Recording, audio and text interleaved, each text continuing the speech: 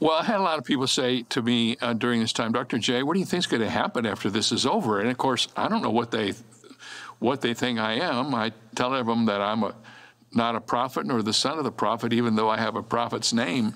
but um, the the thing I began to realize as I started to think through this, and I did this one night late at night. I was I was laying in bed thinking about it.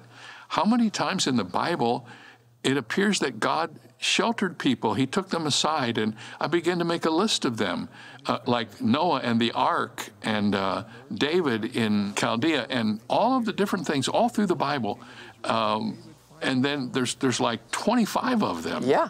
And I chose the most powerful ones and ended up with Almighty God sheltering His Son in a tomb for three days, and He came out to bring salvation to the world. The interesting thing about all of this was wherever there was a sheltering, the aftermath was something special. Like wow. God sheltered Jonah in a whale, and when he came out, he went to Nineveh and preached the greatest revival that's recorded in history. Yeah. Over and over again, that's what happened. So at the end of it, I said, I don't know what God's going to do, but I do know what he's done, and I think he might do it again.